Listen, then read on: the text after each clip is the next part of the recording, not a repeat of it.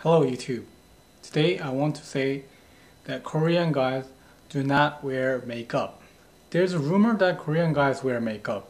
And as a Korean guy living in Korea, I would like to give you the opinion that opinion on this because the rumor is just totally wrong. I personally think that a guy wearing makeup is such a girly thing to do, which I've never done as well as my friends. And I'll give you this idea where this uh, idea that Korean guys wear makeup comes from. Uh, number one, K-pop and K-drama. Obviously, if the uh, singers or the actors have must be shown on screen, they have to look good. So in order to look good, they have to wear makeup. Number two, cosmetics uh, market in Korea is very huge. If you come to Korea, you will see a lot of cosmetic stores in all over Korea.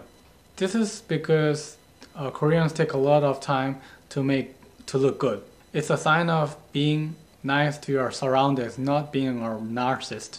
Korean cosmetics are very popular around the world. And that also raised the expectations for male cosmetics as well, not because Korean guys are interested in it. And the other reason is, is that Far East Asians don't age. We East Asians have a good gene that we don't age. And because of this, simply a lot of foreigners just think that uh, Korean guys wear makeup just because we just look good, really good. I mean, our skin looks really good. But again, I think it's a, just a gene thing.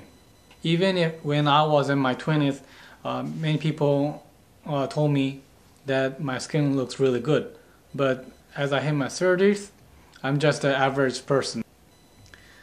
So if you have any questions or comments about this video, please leave a comment below. And if you have any other uh, questions about Korean cultures in general, uh, you know, feel free to message me.